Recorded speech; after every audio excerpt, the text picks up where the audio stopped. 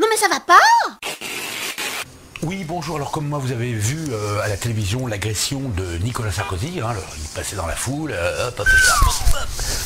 Euh, non, non, alors, alors, il, il a, rien pu dire. Il, est dans une politique de discrétion en ce moment. Alors, bon, bah, euh, autrement, il aurait bien. Mais bon, là, il a pas pu. Il a pas pu. Bon, il paraît qu'il a parlé quand même au, au dégénéré. Il, lui- il lui a dit au déséquilibré, il lui a dit euh, non, euh, pas, pas les vêtements, merde. Ah non, c'est vrai, après il rentre à la maison, il y a Carla qui gueule. Veste que je t'ai acheté chez Célio. Non, les, les gens, les gens se rendent pas compte, il est vraiment dé- déséquilibré le mec là. Oh. Bon, euh, amis euh, déséquilibrés, euh, quand vous agressez un chef d'État, pas par les vêtements. Combien de fois il faut le dire?